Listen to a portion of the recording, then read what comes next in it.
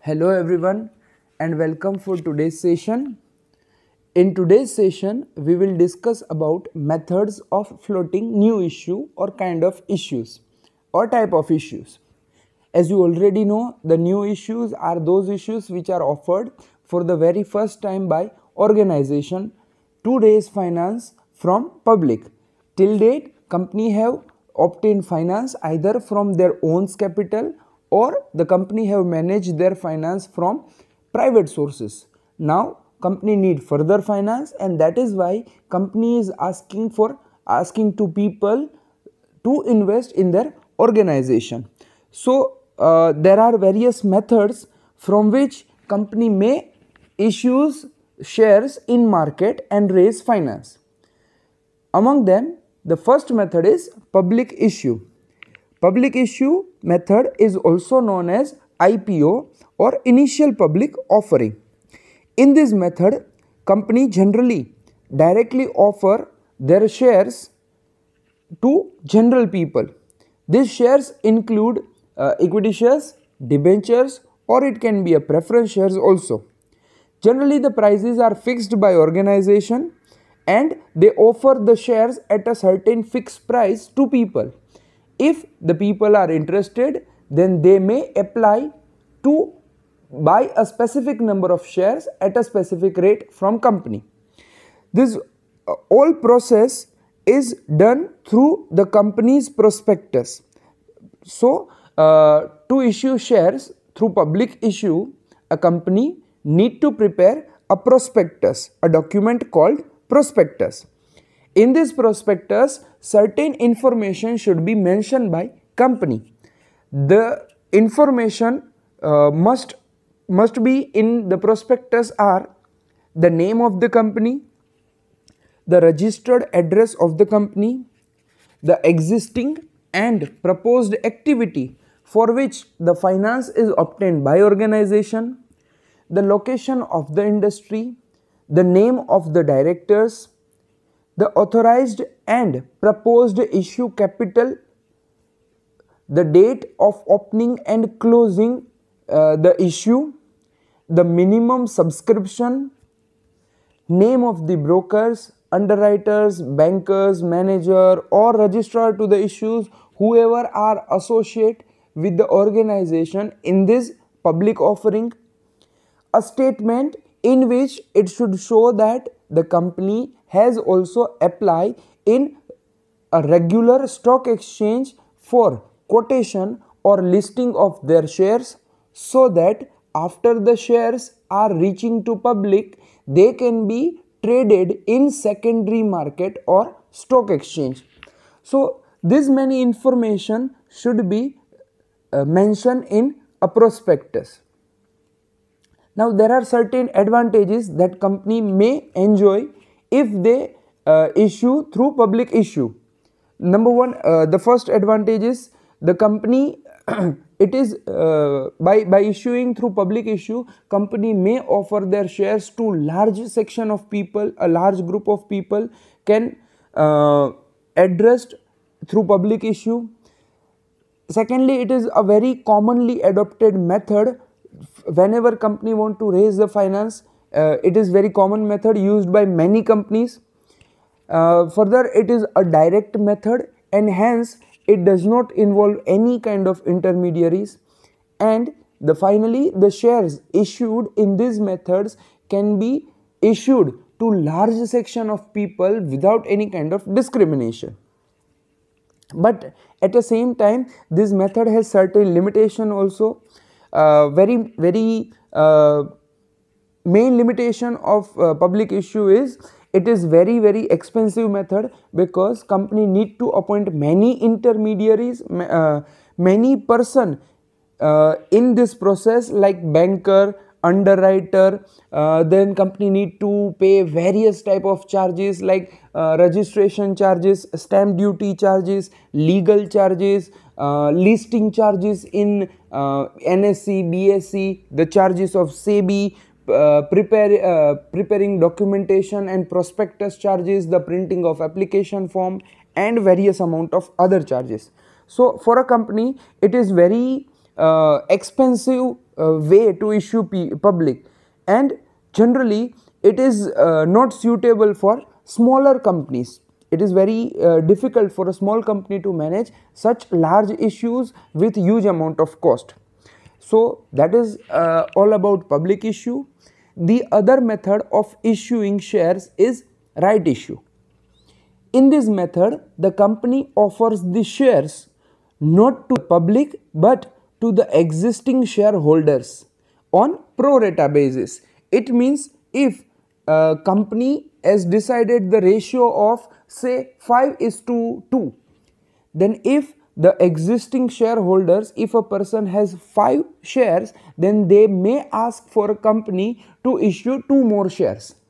But remember in this method the person need to pay certain amount of money. This is not available at free of cost. In right issue, the existing shareholder has the priority right to get the shares before it is offered to general public. It is called as right issue.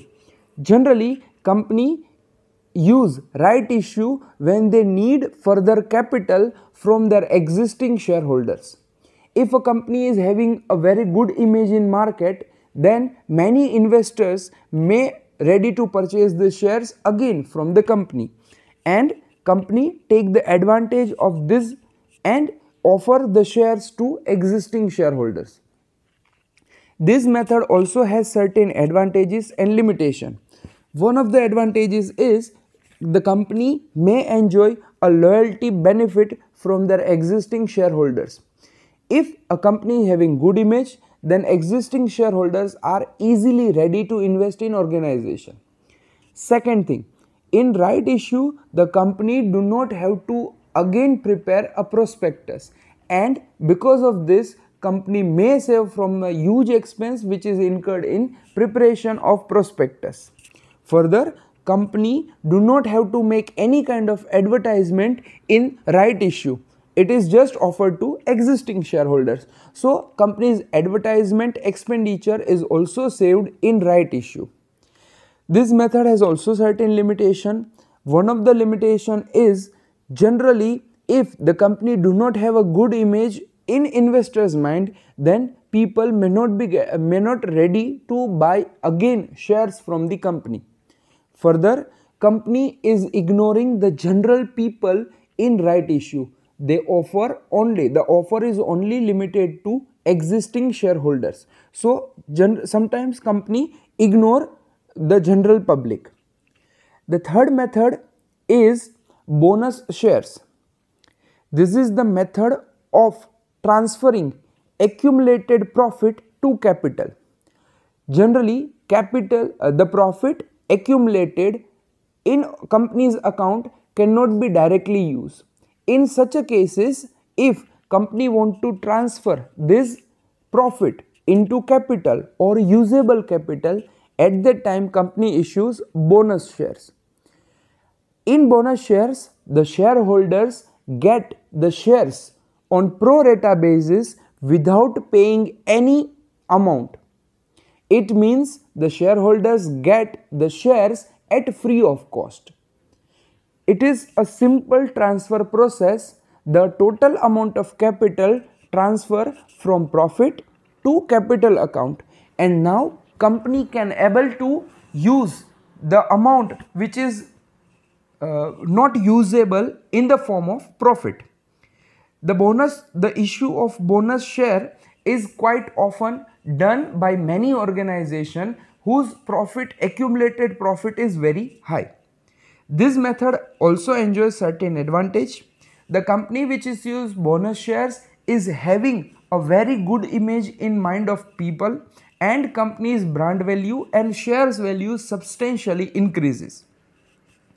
The existing shareholders do not have to pay anything and that is why the shareholders are also become happy when company issues bonus share.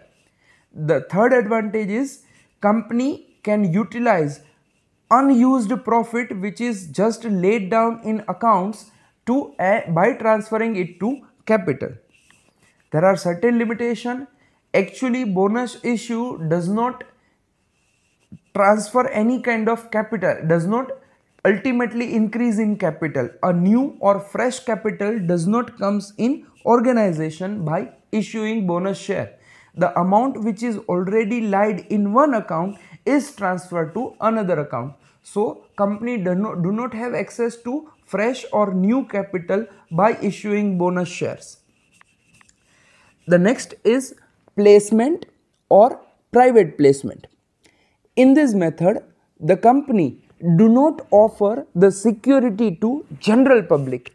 But rather than doing this company offers their shares to small group of investors or certain financial certain big financial institutes like UTI Un, uh, Unit Trust of India LIC Life Insurance Corporation GIC General Insurance Corporation or a company may uh, offer the shares to some brokers or broking house.